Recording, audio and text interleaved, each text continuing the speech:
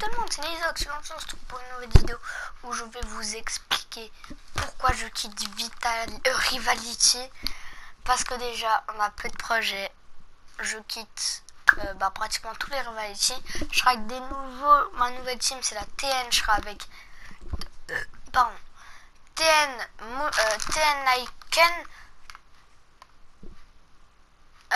TN euh, Gros moi, TN Dairon et TN peut-être Cricritag.